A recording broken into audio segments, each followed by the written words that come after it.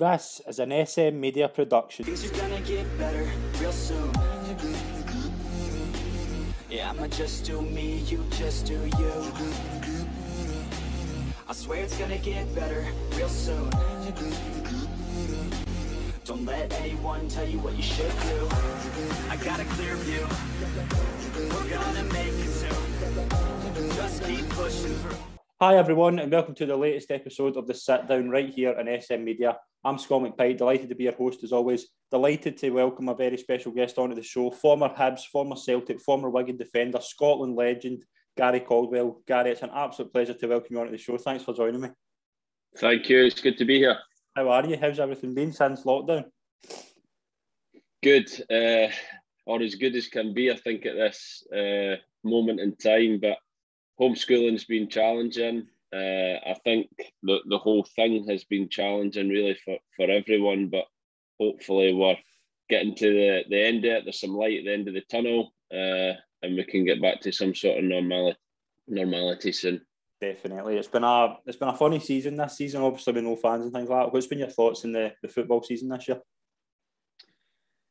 Yeah, again, really challenging for, for players, for staff, uh, for, for supporters who, who can't get to the game and uh, kind of let off the, some steam and, and Yeah. kind of that uh, passion that, that they bring every every Saturday or every midweek game. Uh, so I think it's been a challenge. The players not having supporters in the stadium, I think some players have benefited from that. Others have, have probably struggled from that. Some clubs have benefited, others have struggled. So uh, it, it has been a big challenge for everyone. I think it'll also be a challenge when supporters do get back in the Yeah. stadium, readjusting to that environment again. So it'll be interesting to see how that how that changes things once that happens. Definitely. We'll talk about about your, your early, early years before you got into football. What was your kind of boys' club days like and your, your kind of heroes growing up? Like, what made you kind of get into football? Uh, my dad, really. My dad was a was a junior player uh, for Bo'ness, Camelon, kind of local junior teams around about Stirling. Played for East Stirling as well. Uh, so he was really, you know, well, as soon as we could walk. I had a bigger brother as well who who was into football, which I think helped me a lot Yeah. uh, du- during you know that period and and right through my career. Uh, so yeah, basically from from the, the days that we could walk, we had a ball. Uh, we were only a year and a half uh, age gap, so you know we always had somebody to kick that ball with, Yeah. uh, which I think makes a big difference. If you if you don't have that kind of partner, you have to use a wall, and that, and that can be mentally more challenging. So I think having Stephen for both of us, it was a, a great help for both of us. Brilliant. What were your kind of days like at obviously you were at Celtic Boys Club first then Hutchie Vale. Like what was your days like there? Did you enjoy them? Uh, I was I was actually Stephen that was at Hutchie Vale. I was Right. at uh, Bannockburn, a local Bannockburn uh, juniors. My dad was uh, manager of the local amateur team along with uh, James Fowler's dad, uh, Right, Jim. Yeah. uh, and they were both uh, managers of, of the amateur team. And I, I had played originally for a team in Larbert called North Broomage Colts. Uh, Stephen had played for that team as well, and then he went on to Hutchie Vale. Uh, but when when my team got to about under 12, 13, I think it was, uh, the guys that were running it didn't want to do it anymore. Uh, they were they were kind of it was taking too much time away from their family. So uh, it was my uncle Jim from who was from Bannockburn who set up. Uh, kind of took the team from Larbert to, to Bannockburn, and I played in that team with uh, Paul McHale was in that team who went on to play uh, professionally as well, yeah. and and we were a really good uh, boys club team. Brilliant. How does the scouting process work for Newcastle?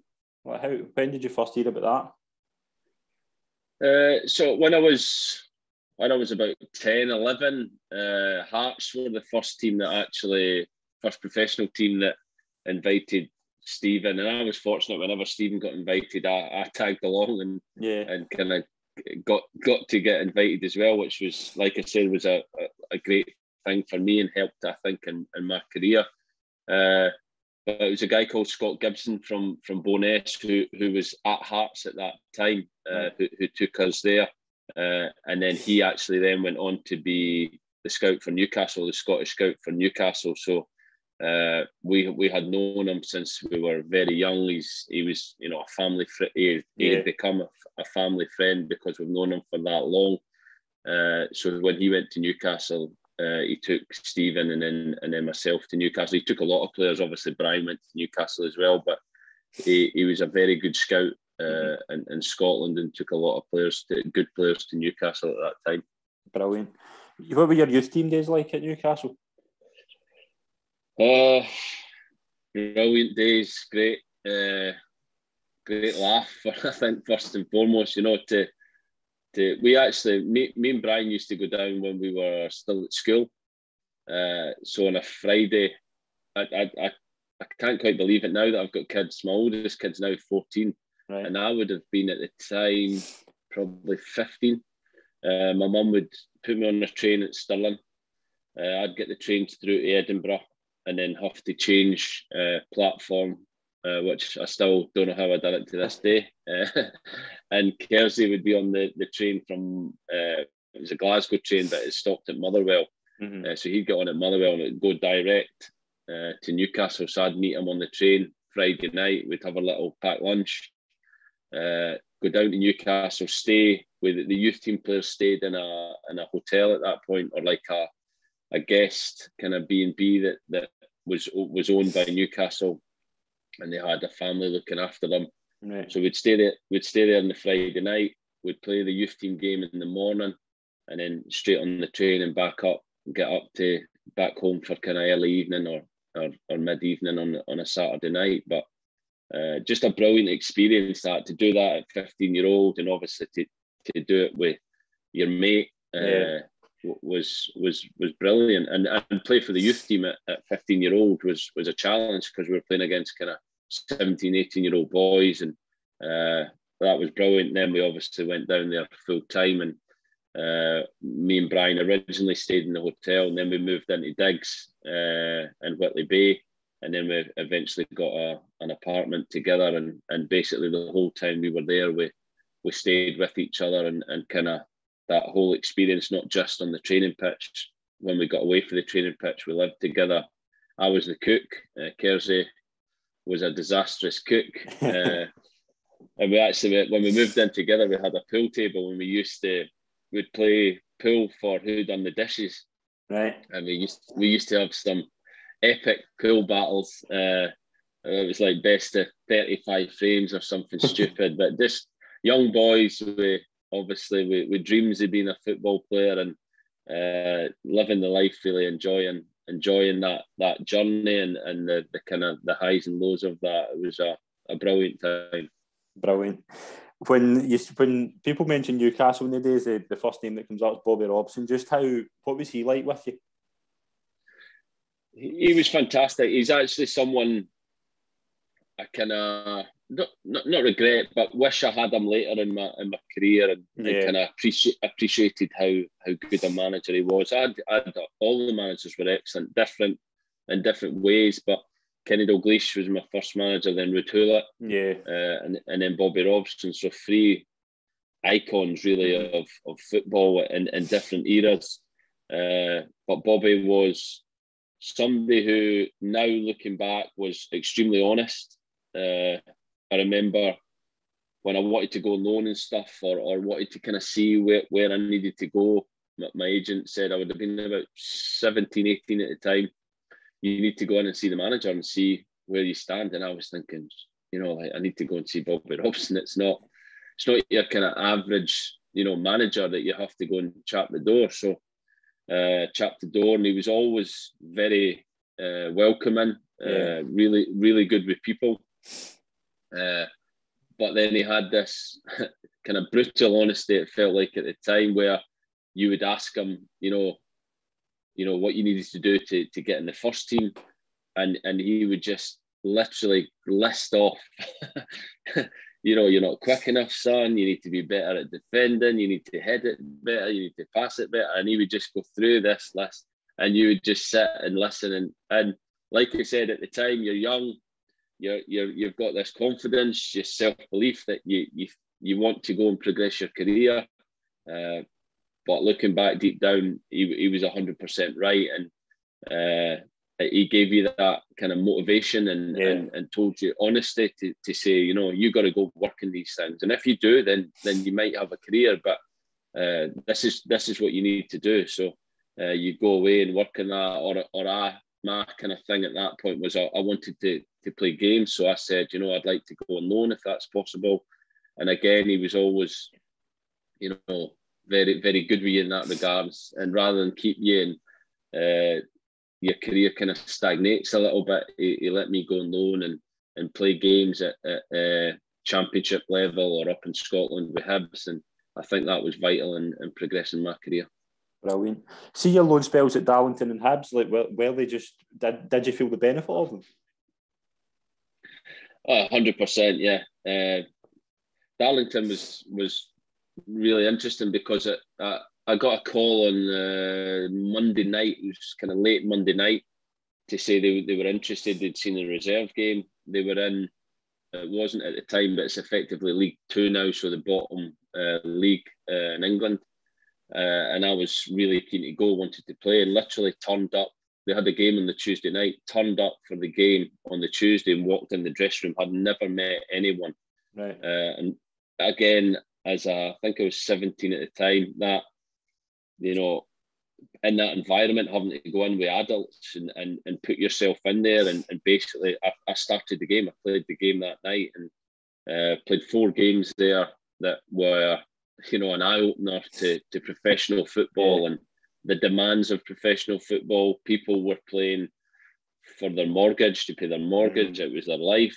And, you know, that was a real eye opener to me to, to see what winning football was. I think too often now the, the younger players they don't see what winning football is they, they learn how to play the game and pass the ball and uh, receive the ball and, and play tactically different ways but uh, f- football's about winning Mm. and, and that character that you need uh, the attitude you need to, to have every day that was a big eye opener for me and, and to, to see that firsthand was was was good for my development Brilliant.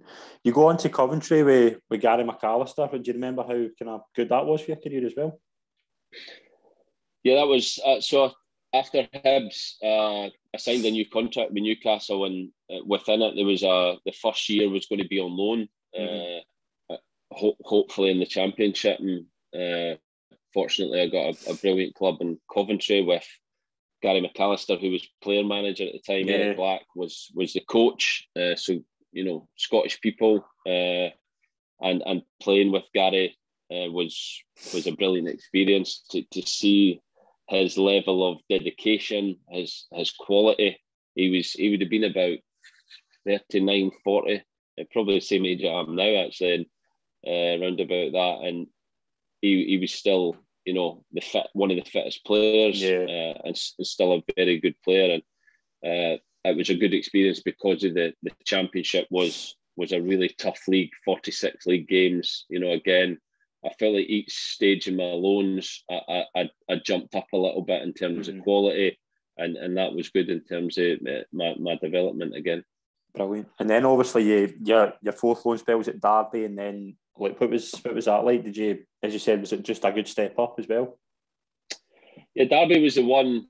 So all my other loans, I felt like well, the, the, the club wanted me back. They asked for me back, and I, I left for, for different reasons, or or we couldn't get it done. Uh, but Derby was one where I, I was poor. I, I didn't perform well. I had been so I'd been on loan at Coventry the previous season, and then went back to pre-season at Newcastle and got a little bit complacent. Felt like I would have been involved in Newcastle because Yeah. that didn't happen. My my standards slipped a little bit. I didn't get as fit as I was uh, the previous season, and then the opportunity came to go to Derby, and I wasn't ready for that opportunity because of certain things that had happened at Newcastle, and that was a, a lesson that you know no matter what's going on.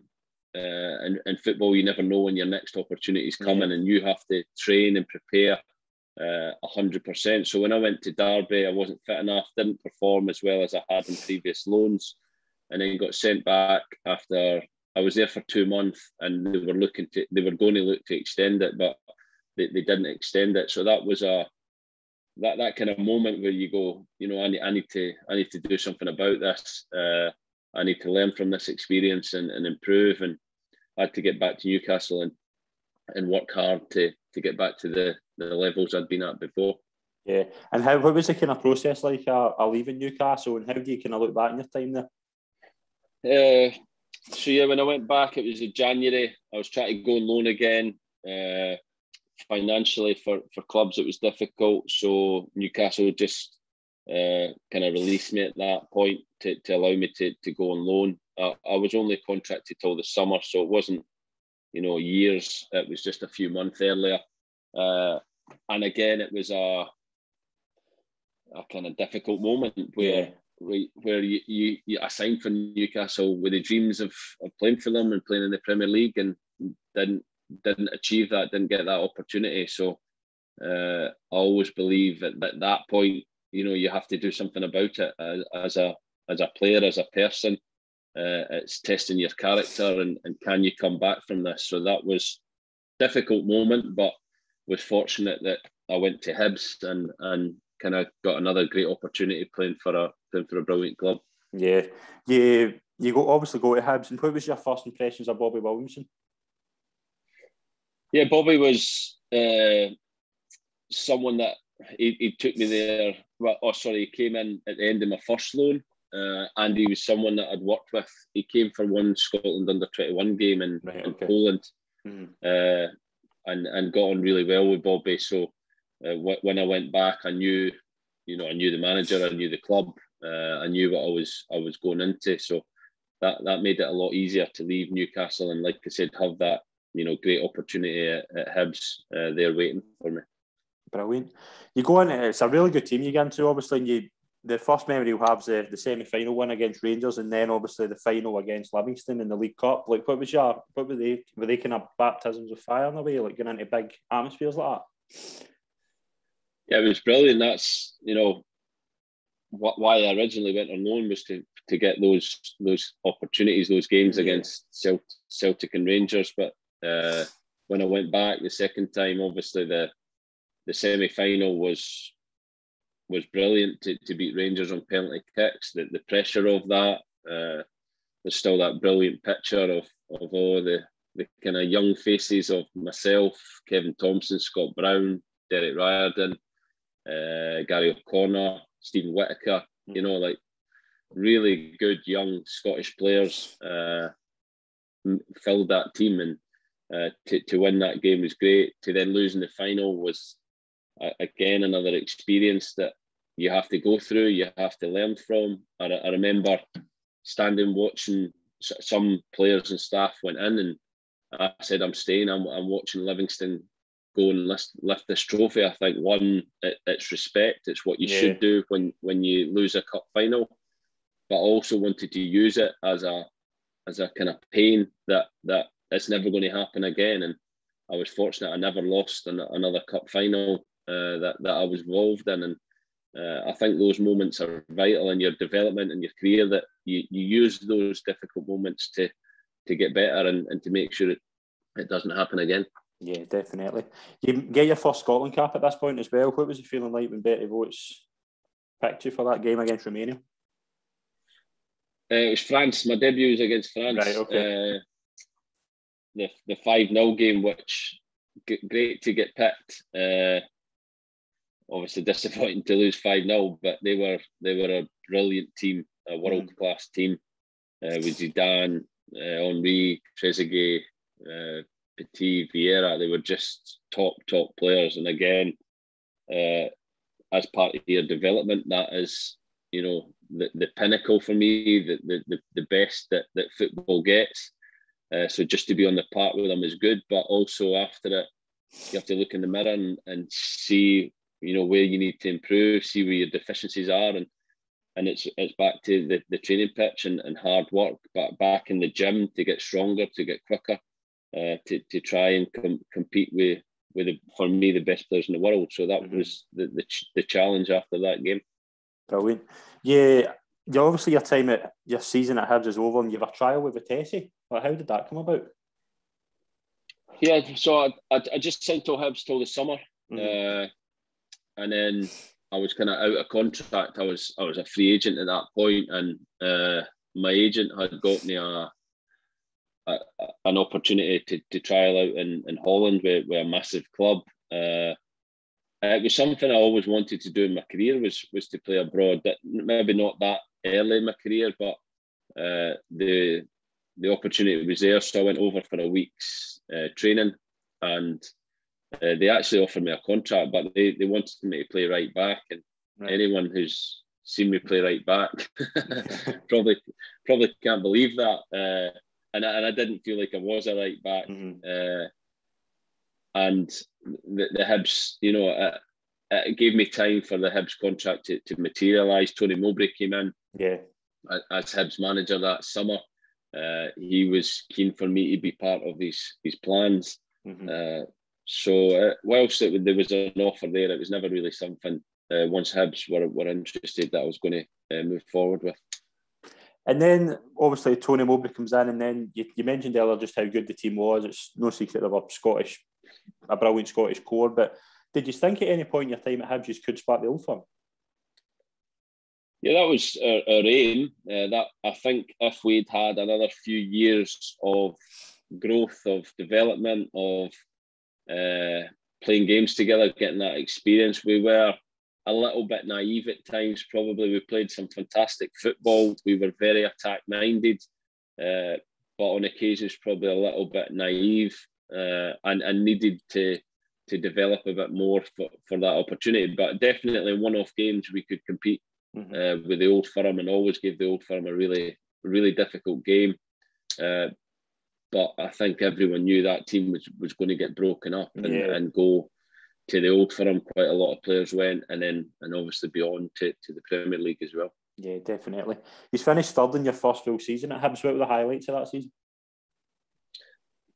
Uh, I think we beat Hearts uh, at, Tynecastle. I remember a game where we beat Hearts for, for the first time in a long time. Hearts were, were almost like our bogey team. They Hearts were a very physical team at that point and, and could, because we were so young, they, they could physically dominate us. Uh, and and we we beat them once at Tynecastle, but Tynecastle was notoriously difficult place to go for everyone. But with the type of football we wanted to play on the tight pitch, it, it, was difficult. So beating them there was great, but finishing third, you know, was was a massive achievement at that yeah. point. Hearts were a really good team. Uh, Aberdeen were a really good team. Dundee United were a strong team. So, uh, you know, I think the league in, in general was a lot stronger at that time. So it really was a, a big achievement.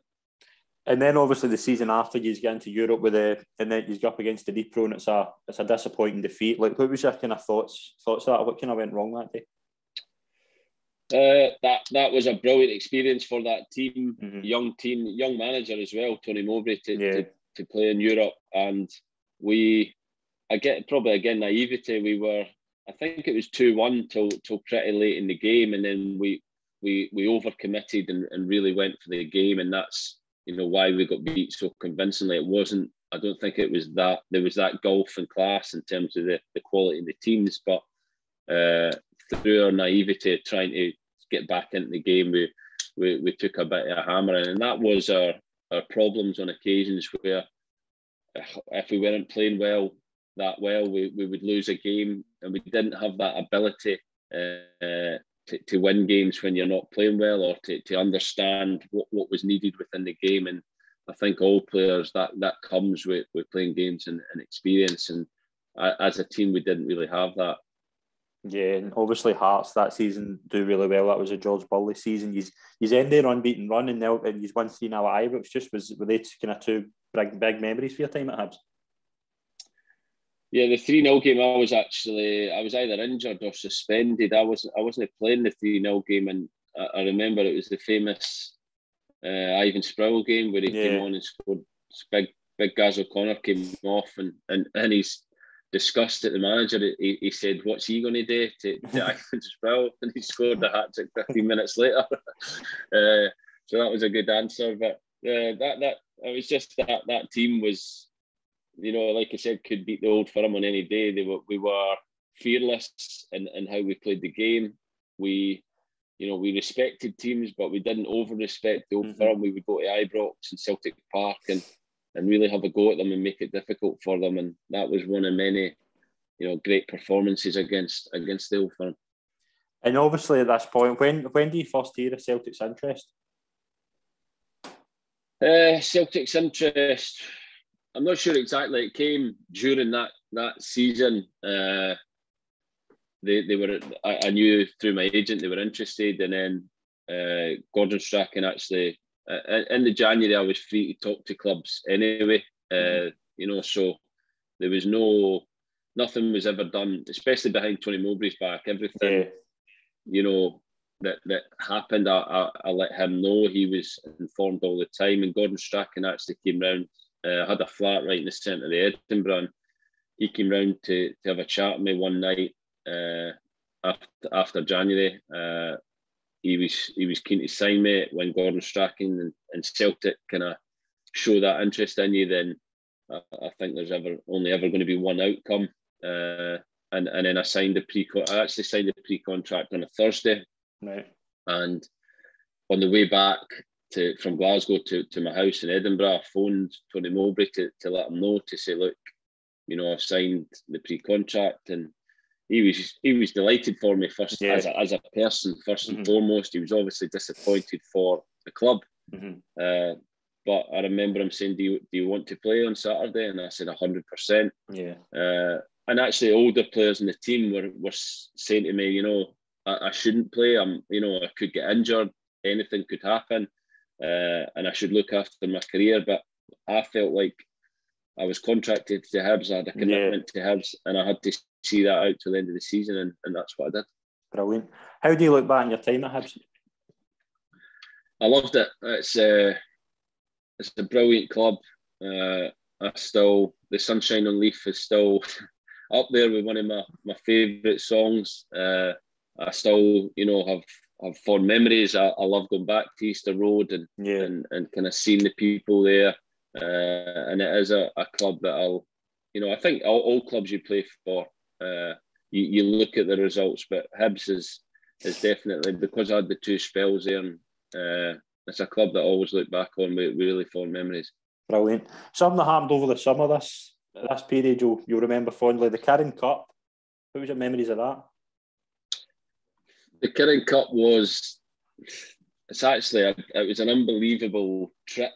that's that's what it felt. It felt like a kind of not a holiday, obviously, because we were working, but uh, just a brilliant experience uh, going to Japan. Uh, we played the first game. We it was it was difficult because of the the travel and the the time zone was was really difficult. Mm-hmm. But I remember we flew out and played the first game against Bulgaria. Uh, we were all we would all come for breakfast at like four or five in the morning, and we'd train, and you'd be you'd be knackered at training, and then we went out and played amazing against Bulgaria. I think we beat them four or five one, yeah. uh, which is unheard of for a Scotland team to score that many goals. Uh, but it was a, a brilliant night for us. We then had a few days kind of rest, recovery. Walter was brilliant with the players. It was end of season, so you know we trained, but it wasn't. You know, we weren't getting kind of slogged on the training pitch. We had loads of time where we could go sightseeing in, in mm-hmm. Japan and different things. We then got a train. I can't remember we would play Bulgaria. We, we got a train to Tokyo.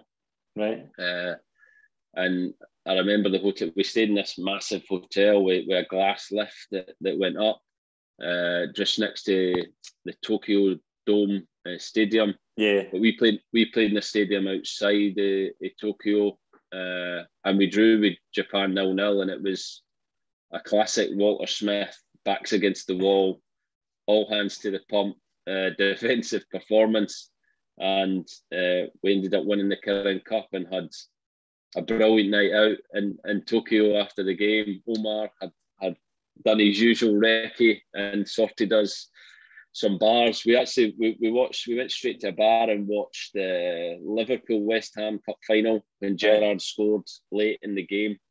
We watched that in a bar, had some food and some drinks, and then went on to a nightclub, and the rest is is a blur, so so to speak. But I remember Walter said, uh, he said every when we were going back to the, the hotel, he said, "Look, you're going out." We had beer on the bus, and everyone was having a good time. He said, "But the bus leaves at nine o'clock tomorrow morning for the, the airport," and he yeah. said, "Make sure you're on it." That was all he said. And when Walter said something, you you listened to him. Uh, so we, we got in at God knows what time, and I was rooming with my brother. Stephen was on, right, on okay. that trip as well. Yeah. And in our wisdom, we decided to get a couple hours kip before the bus when most boys were, were just going straight for the night onto the bus. And we ended up sleeping in, and at about 10 past nine, our, our uh, hotel phone went, and it was uh, Richard Simpson who was like, Get down now. And we like shit ourselves. And as we were coming on the bus, you're like, Sorry, Gaffer, you know, like terrified of Walter. And he just looked at us and he went, The two fucking Caldwells. And so we kind of gingerly walked up the back of the bus, but everyone on the bus, we were singing on the bus at nine o'clock in the morning on the way to the, the airport. And brilliant trip, brilliant memories with, with great people, Walter, Ali, Tommy Burns, yeah. uh, brilliant squad of players, you know, all in it together, uh, good people and uh, great memories. Brilliant moving on to Celtic, what was who were the good kind of players and characters that, that were into in the team? Like when you went when you first went in, who kind of stood out to you?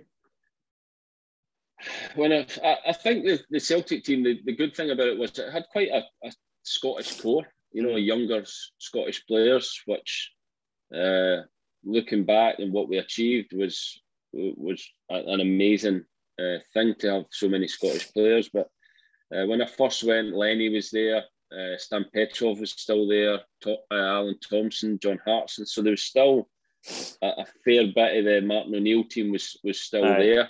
Uh, it was Gordon Strachan's second season. Mm-hmm. Uh, but then they players left, Tomo left, uh, Stan Petrov left, John Hartson left. And then, like I said, it became more, you know, younger players. He signed myself, Kenny Miller, Derek Riordan, Mark Wilson. And then uh, that added to Shaun Maloney, Aidan McGeady, Stephen McManus, John yeah. Kennedy, uh, David Marshall. So it was a real Scottish core in the team. And then after that, obviously Nakamura, uh, a Hesselink, Tommy Gravesen came for a, for a bit. And uh, a, a, really good team, a really strong team, uh, fully winners, fully characters that, you know, training was training was harder than games sometimes mm-hmm. because of the the competitive nature. You know, when Barry Robson came and Paul Hartley came, just to get in the team was was really difficult. So training was full blooded. There was tackles. It was, you know, quite often the odd fight uh, that that had to be broken up. But you know, looking back, that's that's what it demanded. That's what the club yeah. demanded, uh, and that's what we needed to to be successful. And that was was probably the best the best club team I, I was involved in in terms of uh, having to win every week.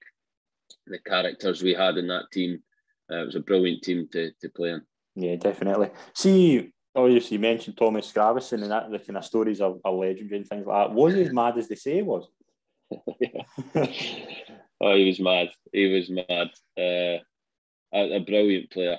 Mm-hmm. Uh, and the five sides, he was your he was your first pick on a big pitch on a Saturday.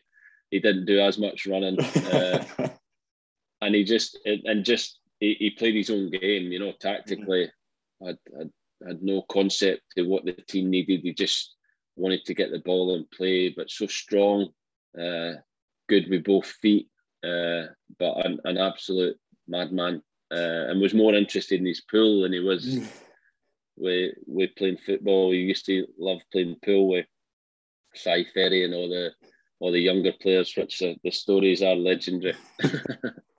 Brilliant. What was Gordon Strachan like with you? Was he was he a good influence in your career?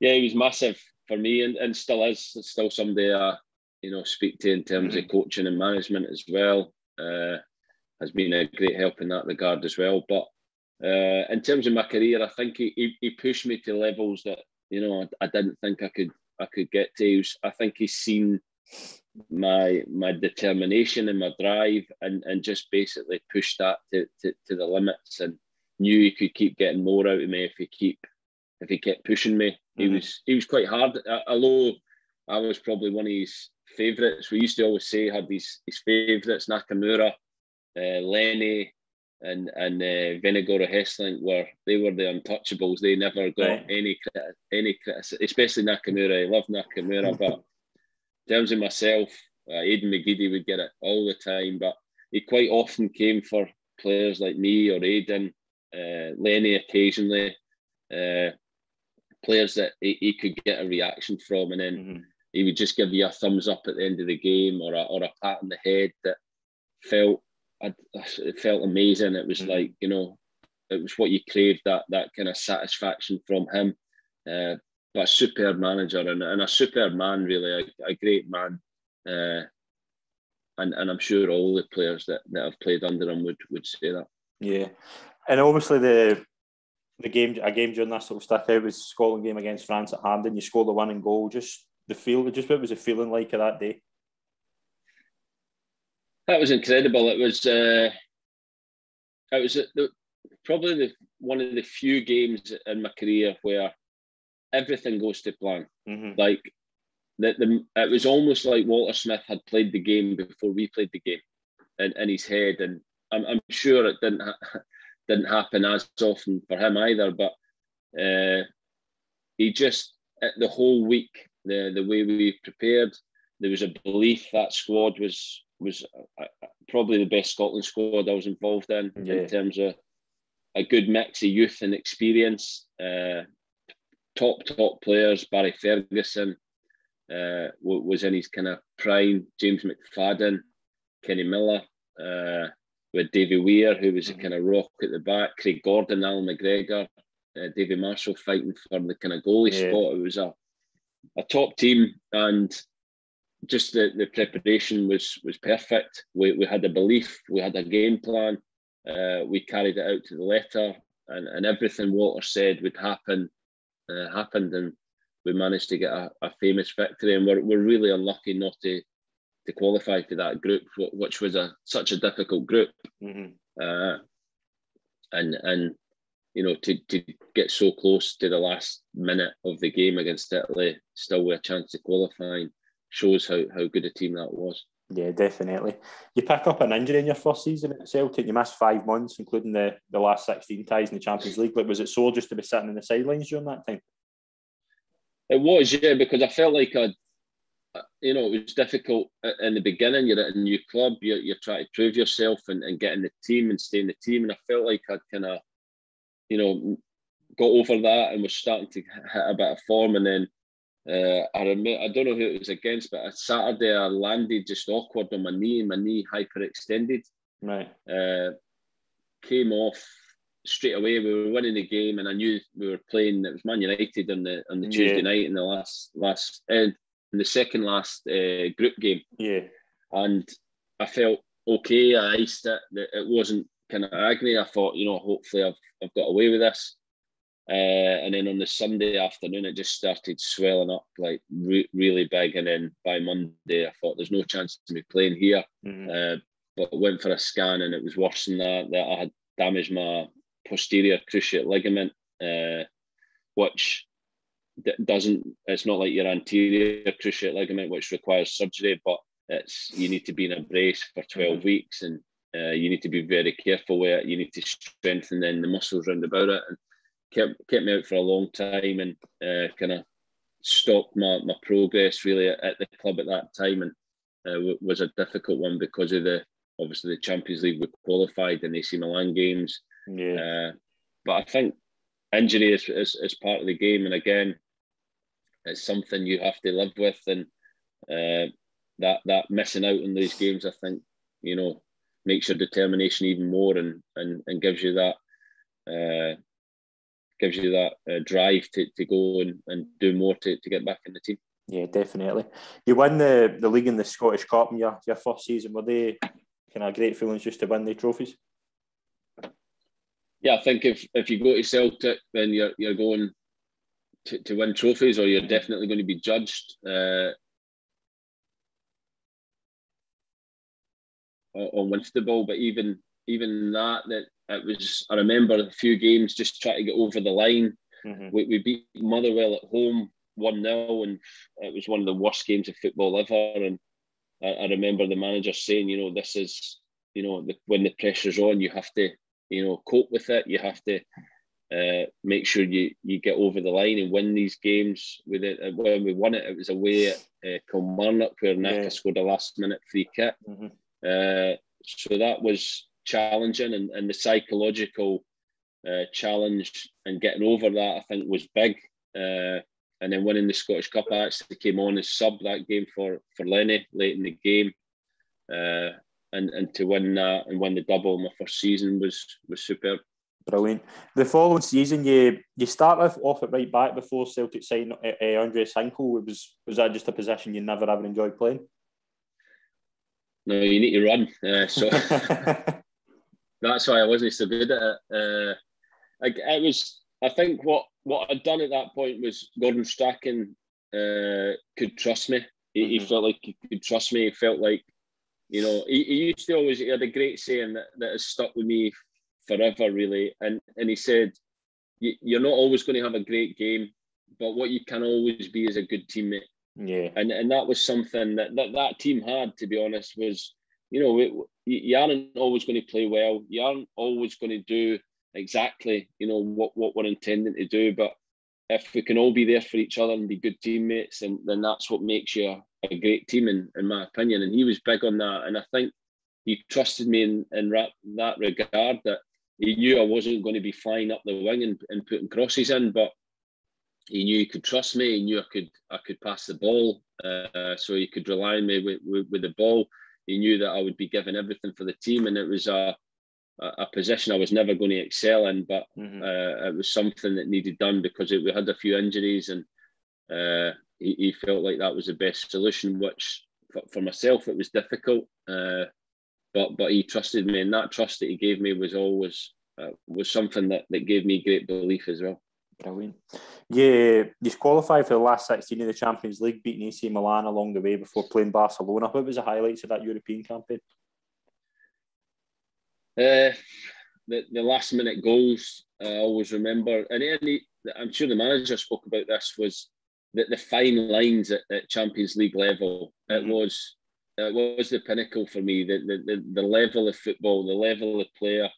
I, I remember my dad used to always come to the games and sometimes criticise me on, on the way home, and, and I would look at him and like, you, you're playing against Kaka or mm-hmm. Inzaghi or Messi or Henry, and and literally one half step in the wrong direction and it's a goal. Yeah. You know, the, the I actually remember after the games, you weren't as much physically tired, it was mentally mm-hmm. tired because of the, the level of concentration you needed in, in these games. And you, you would be up till God knows what time because of the adrenaline, uh, mm-hmm. uh, the, the, especially the games at Celtic Park, the noise, uh, the adrenaline that that created kept you up till four or five in the morning uh, after the games. But brilliant experience, uh, brilliant games to, to be involved in uh, and, and Celtic Park in those nights were was was sensational. And that season, obviously, the you you won the league in the last day. It's, would you say that that kind of season with Rangers? Obviously, Rangers were flying that season as well. Would you say that was kind of the hardest fight of your your t- time at Celtic as a team, like just trying to get that league one? Yeah, that was brilliant uh, for me. It was the best one uh, for, for, different reasons. I think with seven games to go, we looked dead and buried. Mm-hmm we managed to win the last seven games, two which were against Rangers, mm-hmm. uh, which were you know huge games, pressure games where, you have to deliver. And, and like I said, that team, you know, could really you know you could you could trust your teammates on those nights to stand up and be counted. I remember the one of the the Rangers games. It started with Barry Robson. There was an elbow on Christian Dailly, and just set the tone really for for both of those games to be they were really high high pressure high tension games and and to, to come out on top in both of them and go on and win the league tommy burns funeral yeah. was on the monday or the tuesday before we played dundee united on the thursday because the, the league actually finished on a thursday night yeah because of rangers they had got to the europa league final mm-hmm. and again, that game, I don't know if it was because of Tommy or what, but it, it was like similar to France, where not everything went right, but I just didn't ever think we would lose the game. Mm-hmm. I just didn't. There was no point I thought we're not going to win this. I think, you know, whether Tommy was looking over us or whatever it is, it just felt like it was meant to be. Uh, and we won the game 1 0 without playing that well. Uh, and I remember about 10 minutes to go, you could see the helicopter flying over uh, Tannadice and yeah. that feeling of, of, knowing that, you know, this is this is over, we've won this uh, was brilliant. And then after the game, we had t shirts for Tommy and uh, the celebrations were always were always kind of that for me the, the most enjoyable bit because you've worked so hard for to achieve something and then to, to celebrate with your teammates and people that, that you've done it with is yeah. is a brilliant brilliant moment. And you mentioned Tommy Burns there. Just how good an influence was he for your career? He was brilliant. He was actually at Newcastle uh, mm-hmm. when I used to go yeah. down there j- just before I signed full time. He was there with Kenny Dalglish, so I'd known him from then. Mm-hmm. Uh, and then with Scotland, and then with Celtic. So I, you know, I, I came across him at loads of different points in my career, and a brilliant guy, brilliant football person uh, who really cared about you know people and, and wanted to make you better and wanted to try try and take you to that next level and on on the training pitch so enthusiastic but uh, more than that just as a person a, a, brilliant human being who, who loved a laugh was always some of the stories uh, with Tommy and, and Gordon and Walter and Ali and uh, brilliant stories and uh, it was it was a sad time, but uh, like I said, a time where you felt like he was there looking over you and helped us to, to that title. Yeah. The following season, the one kind of thing I want to touch on is how how much did you enjoy playing alongside Steve McManus? You formed a really good partnership. Yeah, I love playing with Big Nick. I think I think sometimes in football, you know, a partnership just develops. You know, yeah. you we we both weren't the quickest, so I think that that helped. Where we we, we were comfortable playing, you know, a bit deeper, or or you know, we we we weren't kind of fighting against each other. Uh, he was left-footed, I was right-footed. It, it gave us a really good balance. Uh, we got on off the pitch, uh, and we really cared. We cared about you know Celtic. We cared about our own careers. We mm-hmm. wanted to work hard, so we would always do extra and, and work on our game. So uh, it was, you know, I think as a as a partnership, a really good partnership that, you know, I don't think individually we were both great players, but together we were we were very strong, which I think in a team environment is is the most important thing. Definitely. Yeah, you won the League Cup as well. You beat Rangers at Hampden. How how did you find an old firm derby? I loved them. Uh, that that one in particular was the, the most nervous I've ever been for any game we, we stayed in the Hilton Hotel before okay. games in Glasgow, and I remember uh, it was a Sunday. I remember in the morning of the game, sorting tickets. That was always a, a big problem at Celtic with my family, the, getting all the tickets organised. And I remember being on the phone and all my family being really excited, and and I was shitting myself. That was, you know, I was, you know, thinking an old firm game normally is, is a big game and, and, and a high pressure game and losing it is is obviously you know a, a big disappointment but I thought a cup final to look a league game you can get back the following week or they mm-hmm. can drop points but a cup final I felt like was a, was a one-off game and I, I felt like it was such a big game that we we had to win uh, and it, it's probably why it was such a bad game. I think that the manager was the same. He played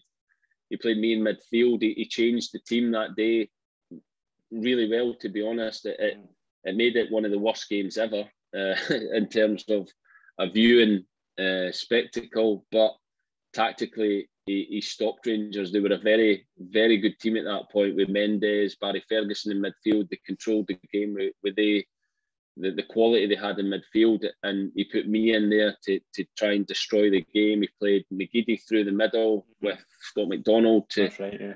to be a threat on the counter attack and, and cause uh, David Weir and I think it was Sasa Papac problems who, who weren't the quickest. So mm-hmm. Tactically, the manager was really clever that day, and uh, we managed to win 2 0. I think it was an extra time we, we won 2 0. Yeah, and obviously that season you win the, the Writers' Player of the Year. See, obviously winning trophies as a team's good, but how good is it to win a, a personal award? Yeah, I, th- I, think, you know, at the time players will say, oh, it's a, a team game, and, and that's your kind of stock answer. But I, th- I think for me, it, it was important because of the, you know, I've had a bit of stick uh, when when I originally went to Celtic, and, and the supporters when I played it right back took a bit of criticism. So to, to come through that and then and then get recognised uh, for my performances for, for myself was was good. But ultimately, like I said in the beginning, you were only ever judged on on winning trophies, yeah. and, and that was that was always the, the main thing at Celtic was winning the league and and as many trophies as you could uh, was was where you were judged. So it was it was nice to, to be recognised, but my, my aim was always on on winning the league and winning uh, the, the League Cup and the Scottish Cup as well. Definitely. How disappointing was it to lose the title that season? Yeah, it was really.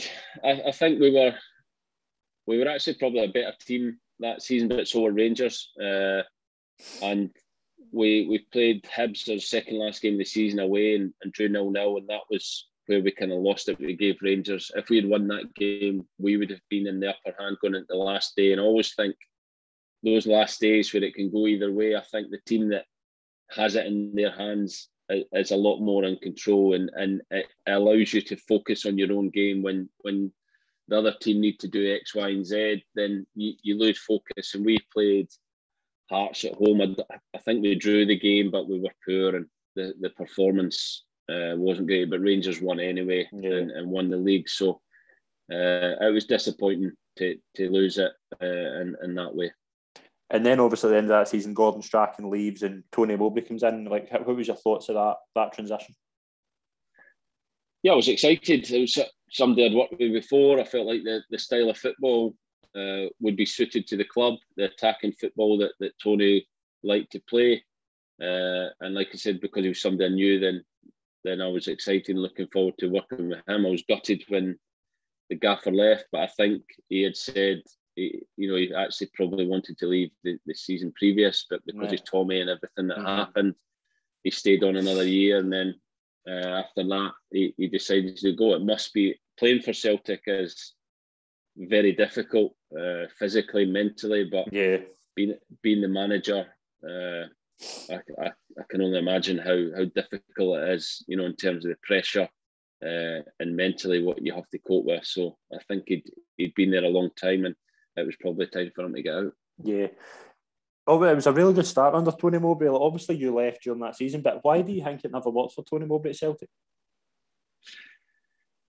Uh, that's a good question. I think there were, uh, the the team probably needed to to start to evolve and to change. Uh, a lot of players left, possibly too soon, possibly mm-hmm. too quickly.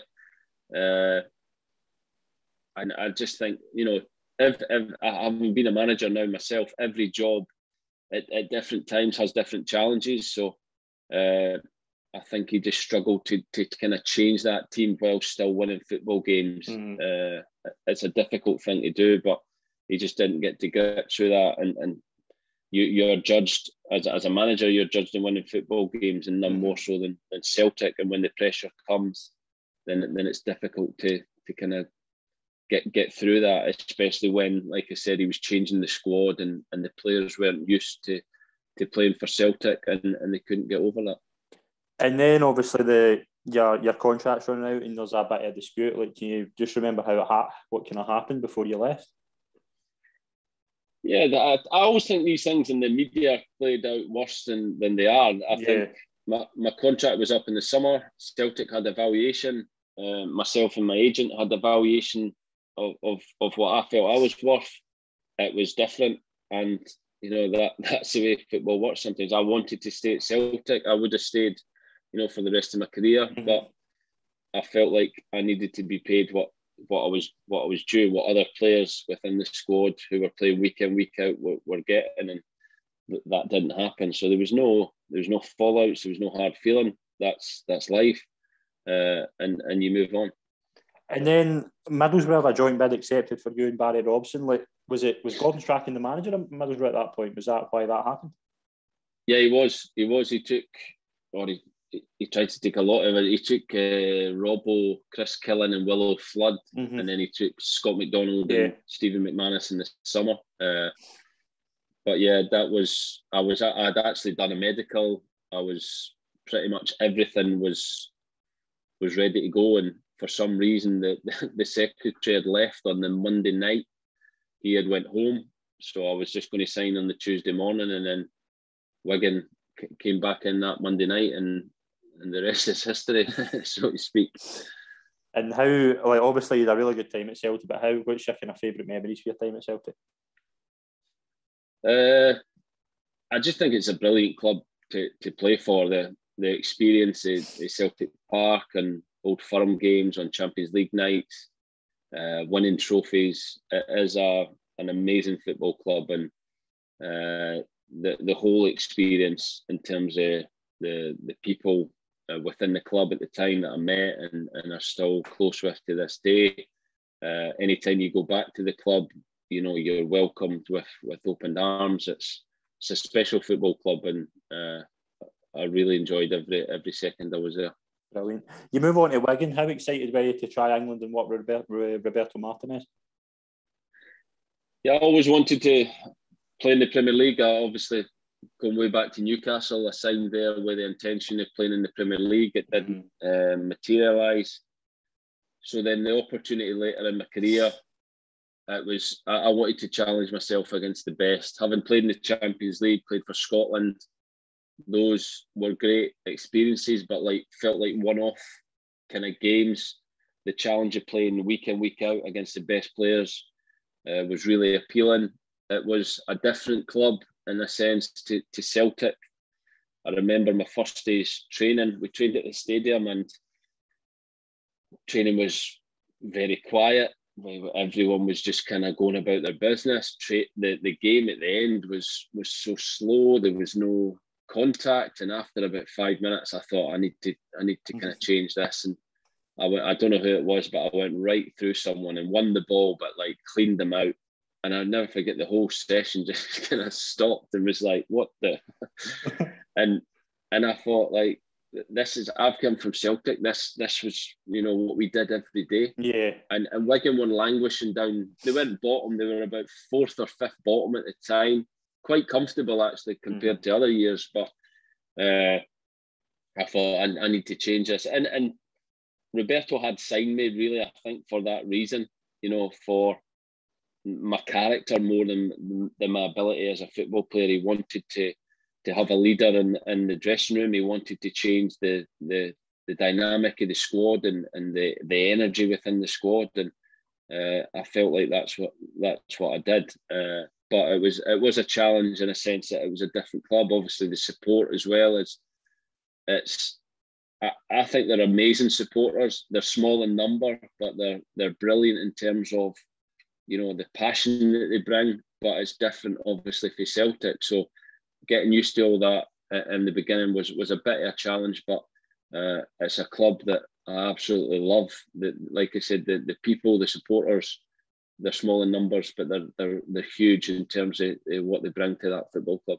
Definitely. How obviously Stephen joins joins as well. How excited were you to be reunited with him?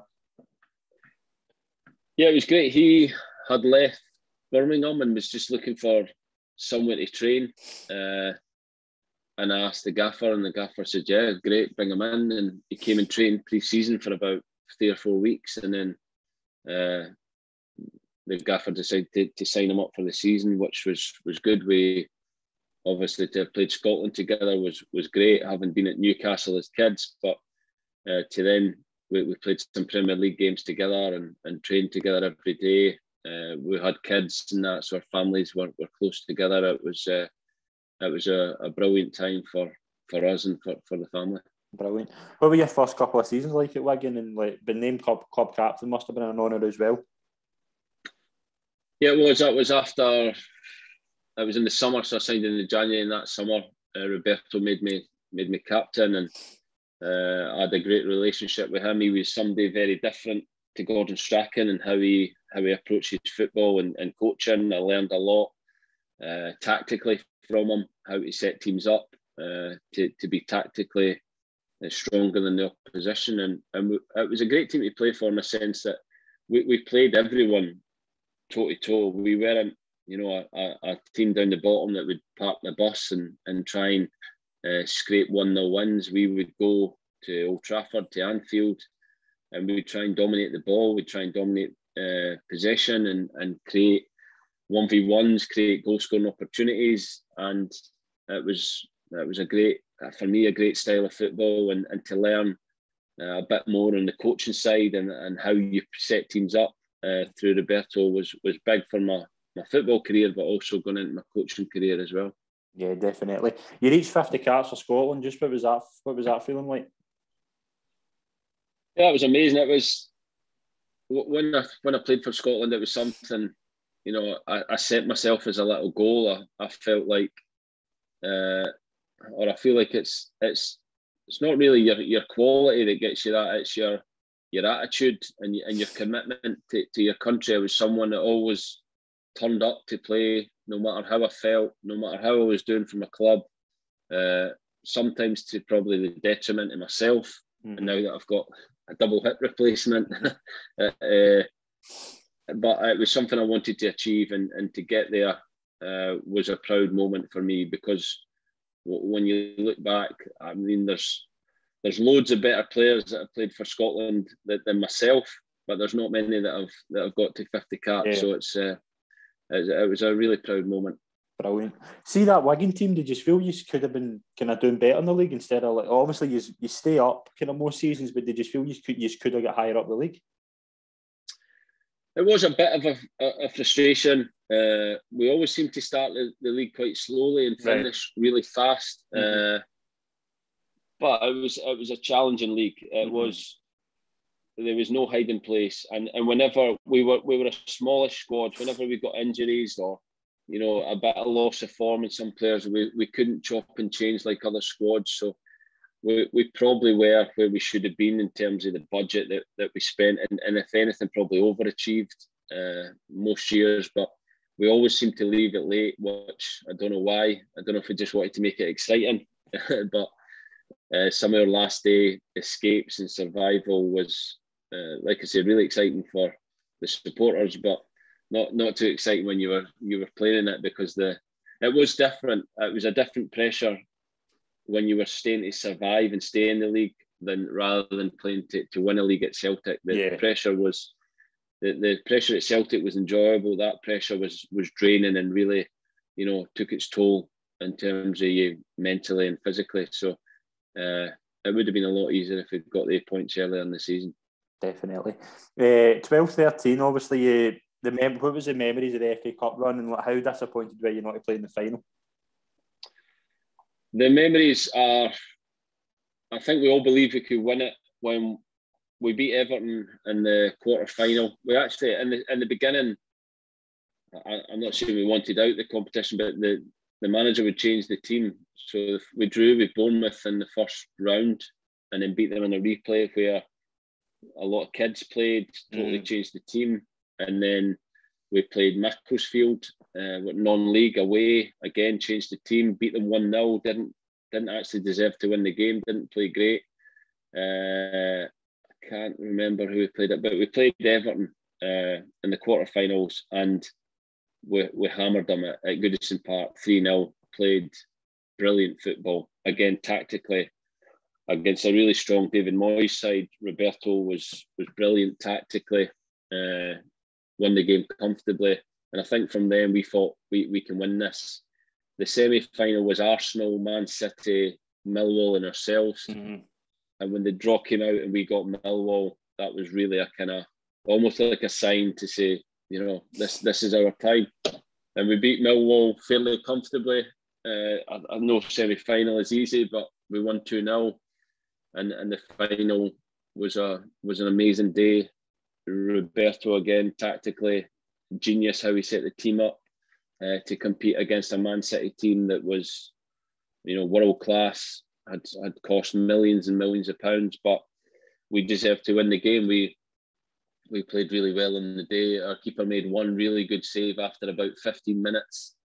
uh, and that was the only time they really created a chance in the game. And uh, Ben Watson, who was he was in the car school, I had a car school. Me, Sean, and Ben uh, used to drive from uh, Wilmslow down about forty minutes away, and for him to break his leg twice, yeah, and then come on to, to score the winning goal, it was like a kind of fairy tale moment and a, a brilliant day for the whole town. The, the celebrations were, were quite short that day because we had a, a league game on the Tuesday. Mm-hmm.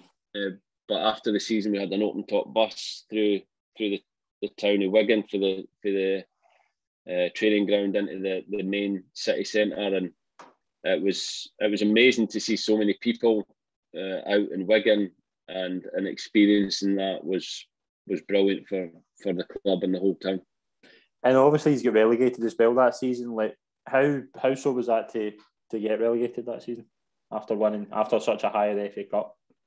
Yeah, it was. It's it's a highs and lows of football. It's uh, I think because of the FA Cup, our squad got really stretched. I mm-hmm. actually played.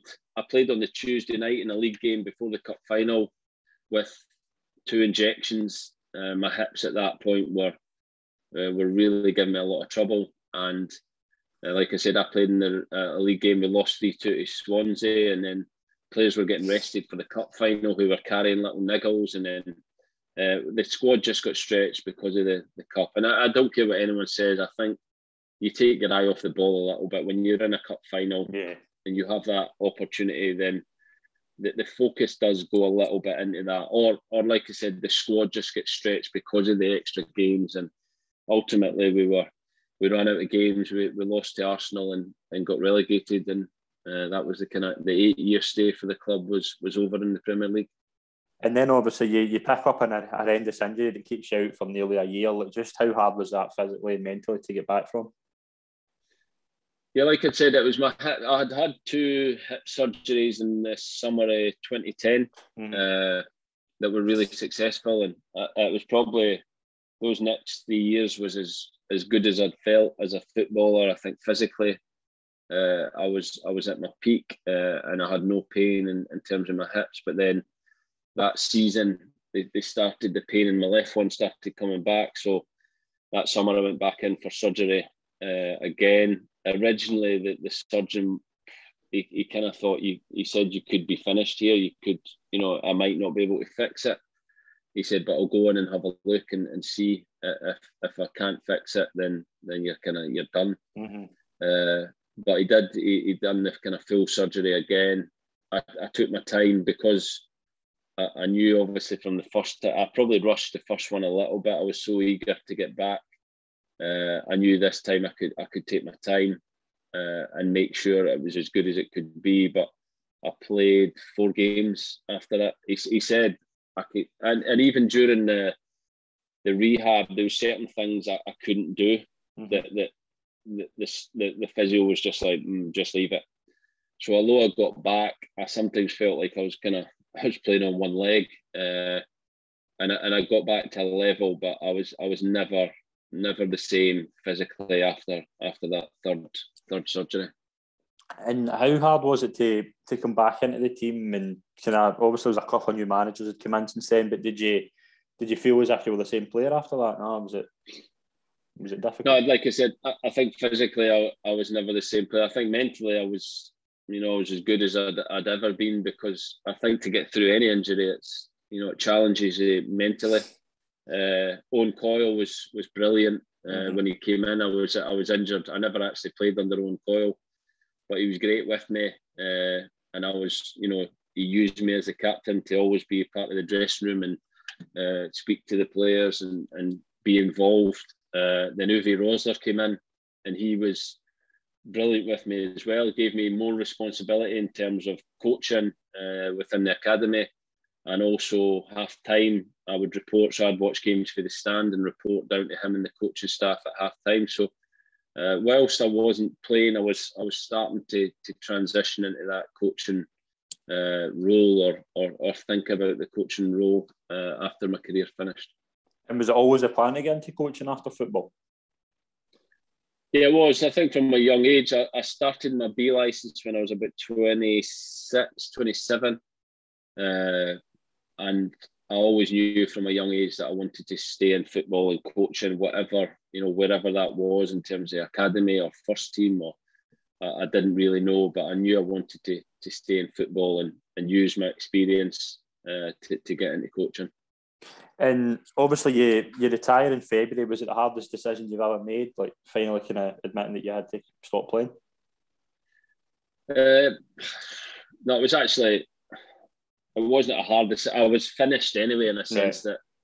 that I, I, could hardly move. I could train one day and then I'd need to recover for three or four days. And even then, I, I knew I wasn't at 100%. And it was actually Malky Mackay came in uh, when he came into the club. The physio that he'd worked with before was physio at the club, so he knew how how much I was struggling. Mm-hmm. And it was almost Malky had said, you know, why don't you just chuck it? And and I needed someone to kind of say that. Uh, and I was I was like I said, I was coaching. I'd done more coaching in the academy at that point. Uh, and and that was you know, my, it was it was easy in a sense that I could just go and do that. But I needed, I, I didn't want to be the person that said I'm I'm I'm finished. Mm-hmm. You know, I almost needed needed somebody to, to say it for me. And obviously, after that, you're you're working a bit in the academy, and Malky Malky leaves. Like, how did you think you were in any contention to get the manager's job? No, I think it's I think it's difficult when any manager loses their job. Uh, and I was I was coaching any anyone really from the under eights up to the under twenty threes. I was mainly with the under 15s, but I could dip into the under 8s mm-hmm. I could mm-hmm. go with under 23s.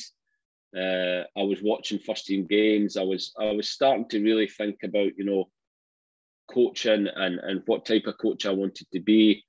Uh, but when when Malky left, the, the chairman phoned me up that evening, later that evening, uh, and said, "Could you come to my house t- tomorrow?" And his house, it was his parents' house, was just round the corner from mine, and I went round his house, and and he said, "You know, we, we want you to be the next manager." Uh, we think you, you know the club. Uh, I was fortunate that I had Graham Barrow, who had been uh, Roberto Martinez's first team coach mm-hmm. and had been assistant manager to to Uwe Rosler, first team coach William Coyle and, and Malky Mackay. So uh, I, I, had someone who I trusted, who had great experience, uh, and I, I, leaned on him really heavily, uh, especially early on. Uh, because I was so so new to it. So uh, it was a it was a challenge. I was only thirty, I think I was thirty two year old, uh, so I was still really young, but it was a challenge that I was I was keen to take on, and, and I felt like I, I knew the club, which which gave me a great chance to to, to change the, the dynamic and, and the results within the club. Yeah, and the the first year, your first season, obviously, is a he's in League One. Like, how important was it to rebuild? And who were some of the players you felt were important to that season when you went up?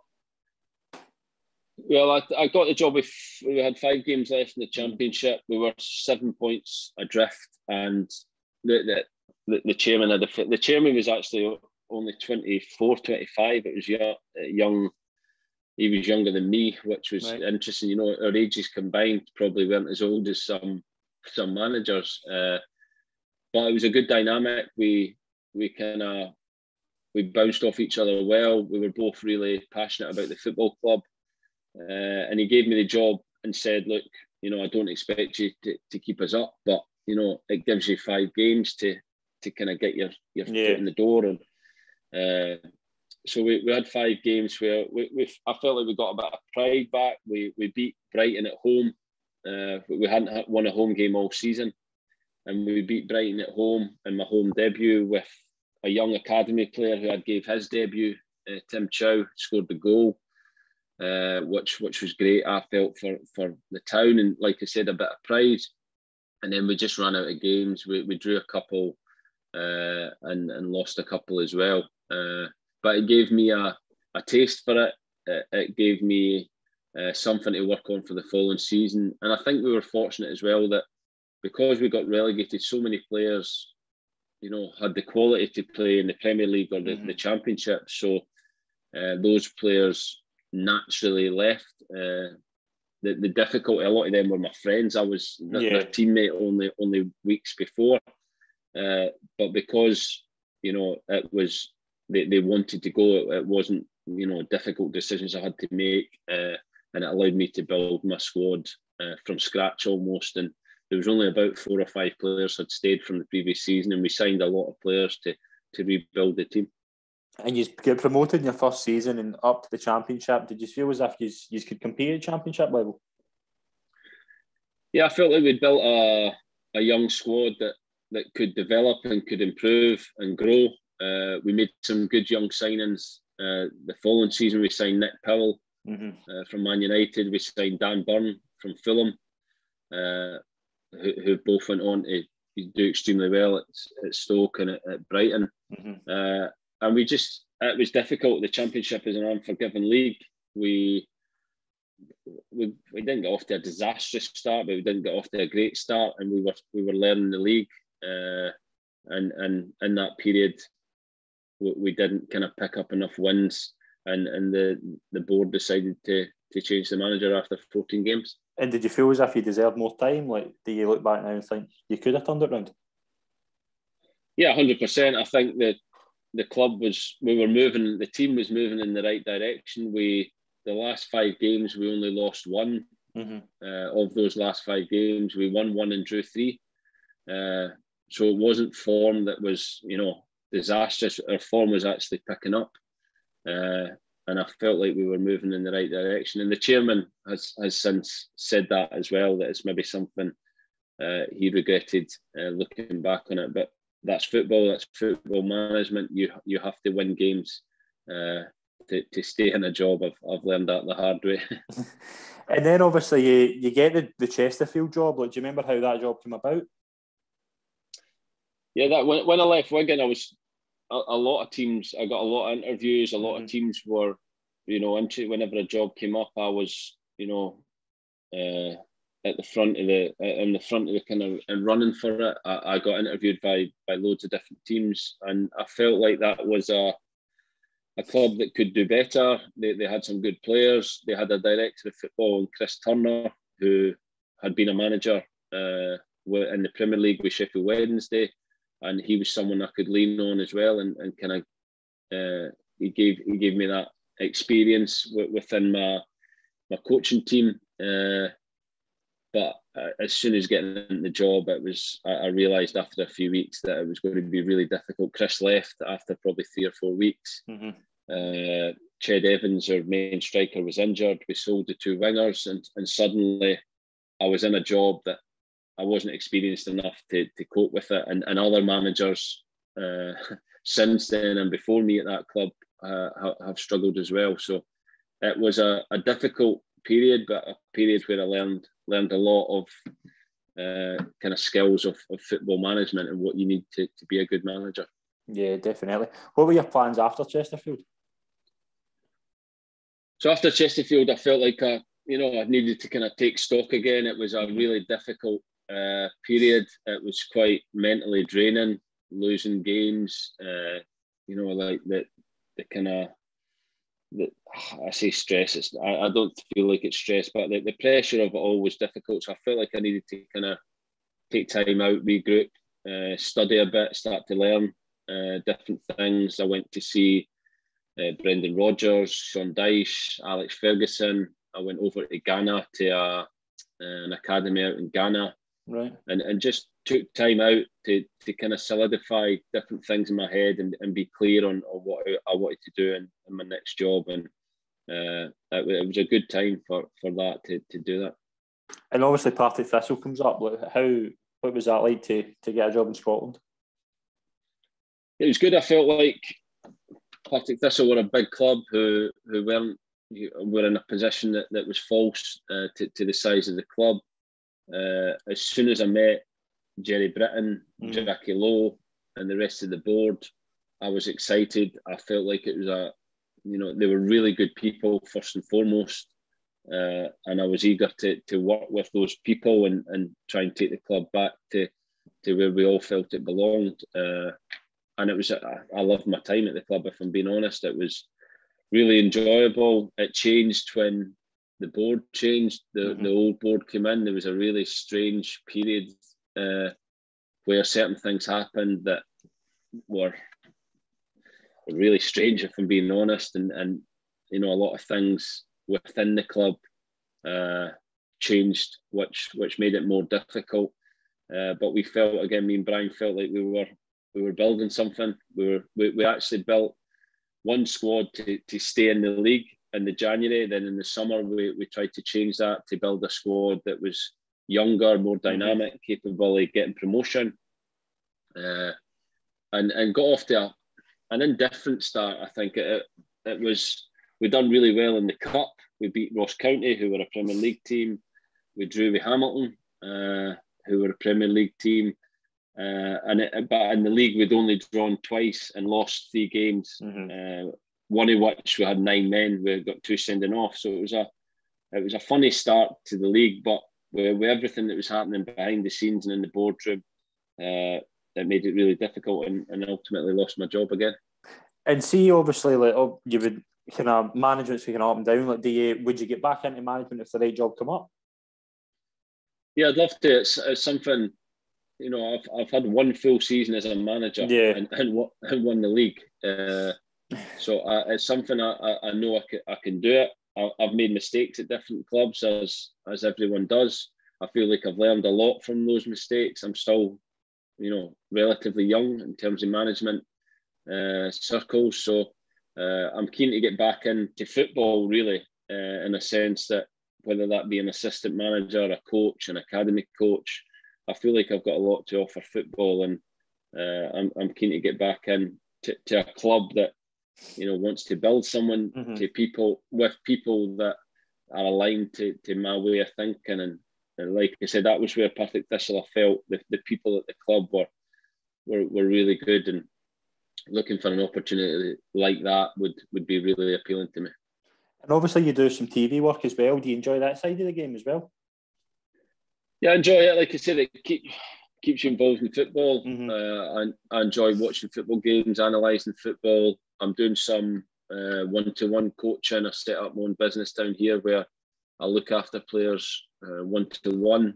It's something I feel like having been a manager, uh, you don't have the time, the staff don't have the time in the week to really look after individuals. So I felt like that was something I could do to, to help players, and I'm working with a few players uh, down in England, which uh, has been really enjoyable, and, and I can see their their development. So uh, I'm keeping myself busy that way. But but like I said, eager to, to get back in and work with a club that that wants to be successful and uh, is, is aligned to, to my way of thinking.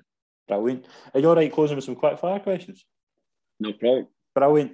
Out of your whole career, who would you say was the best player you ever played with? Uh, Shaun Maloney. I think technically brilliant, uh, one of the best pros I'd ever I've ever played with, and he had a period at Wigan where he was, I think, one of the best players in the Premier League. Mm-hmm. Uh, in that 2013 season where we won the cup, uh, but in the league he was scoring free kicks. He was he was a top player, and uh, I played with loads of good players. But I'd, I'd probably say just Shaun Maloney. And with Shaun Maloney, do you think he's going to go far as a coach as well?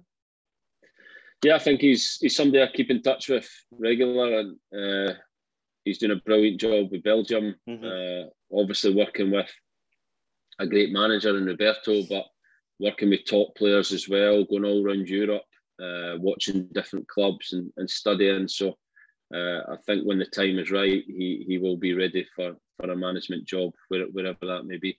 Brilliant. Best player you ever played against?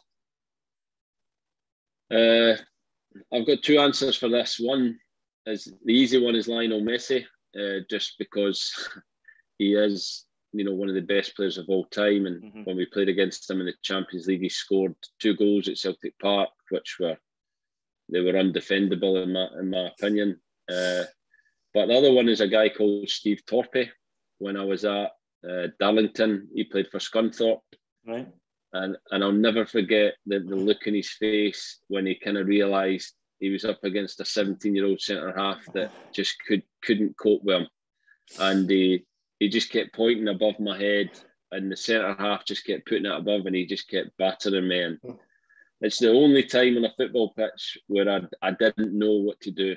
Uh, when when I when I played against Messi, I knew what to do. I knew how to stop him. I just couldn't do it. Uh, but that day against Steve Torpey, he was he, he, he had me, and I, I had to learn from that quickly. Brilliant. Favorite away ground you've ever played at? Uh, Old Trafford is a brilliant stadium for me. It's like it's still got the character of, of an old stadium, but it's a modern mass. I think it's 70 odd thousand. It's a massive stadium, but I think the new stadiums, like the, the Emirates, is a, a Arsenal is a brilliant stadium, but it, it, loses that character because it's a new, modern, purpose-built stadium. I think mm-hmm. the, the old stadiums retain that history, and Old Trafford's my my favourite. Brilliant. Favourite film or TV show? Uh, favourite film would be Good Will Hunting. Right. Okay. Uh, it's I've watched it a long time ago, but I've watched it many times. Uh, and favourite TV show would be The West Wing. Uh, I, I, I, mean, nowadays there's so many, but I remember that was on. I watched that when it was on DVDs, uh, and that's a, a brilliant series. So many of them, and uh, I really enjoyed that. Brilliant. Interesting fact about yourself that the viewers might not know. Uh, I'm extremely scared of lifts, right? And very rarely uh, will get uh, unless it's a long, uh, a long, long way up the stairs. Uh, glass lifts are okay, uh, but anything enclosed, I get very claustrophobic. So uh, I got stuck once with Colin Cameron right. on a Scotland trip, and that's I, I, got stuck with my, with my grand when I was much younger as well. So I think that's where it comes from. But a lot of people don't know and find that bit, people who do know find it very weird. So. Your best friend in football? Uh, Kersey. Right. It'll be Brian Kerr. Uh, my, my brother, obviously, but he, he's my brother. Uh, and, and Kersey, when we were at Newcastle, uh, we lived together. We'd done everything together, and uh, it was great recently. Obviously, working at Partick Thistle yeah. together again, uh, having been away kind of so long. Him being in Scotland, me being in England. Uh, but Kersey and and and others, you know, Sean I still keep in touch with. Uh, Kenny Miller I keep in touch with uh, and other people you, you you kind of phone or text it. I think football is unique in that you know you you, you have this this you know bond that's really intense for for maybe you know a year, two year, three year, whatever that may be, and you, you don't need to speak to that person for a long time. But as soon as you meet up with them or speak to them, then that that bond will will never be broken. It's it's always there. Uh, so th- there's very few people I think you speak to regular, uh, but in terms of teammates and, and, and people you bump into, the, the bond will will always be there. Brilliant. Final question: the best manager you ever played under? Oh, it's a tough one. Uh, I have to go. I think the two club managers are are Gordon Strachan and, and Roberto Martinez. Uh, both very different, mm-hmm. uh, and and admire them both for for different reasons. Gordon like I said, is like a kind of uh, a mentor figure. Took me took me to levels that, that I never thought you know I could get to. Really pushed me to, to be the best player I could be. And then Roberto for you know a, a different way of coaching, a different way of playing, and and seeing the game and and kind of really detailed analysis of, of how he looks at football. And I think another manager would be Walter Smith at Scotland, yeah. who I didn't get the opportunity to, to work with as long as I would have liked, but an absolutely brilliant manager from a tactical point of view, defensively, the best I'd worked with, mm-hmm. really organised, hard to beat. Uh, but in terms of a man manager, you know, right up there uh, with, with, the best. I think every player that's played under Walter will, will say that. You know, he, whilst he's, like I said, when I was getting on the bus, he was a little bit scary. he was he was still a brilliant man manager and, and somebody you had so much respect for. Brilliant. Gary, it's been an absolute pleasure to talk to you about your career. I've thoroughly enjoyed it. Thank you very much. Not a problem. Thank you. Thank you. Cheers. Yeah, I'ma just do me, you just do you. I swear it's gonna get better real soon. Don't let anyone tell you what you should do I got a clear view We're gonna make it soon Just keep pushing through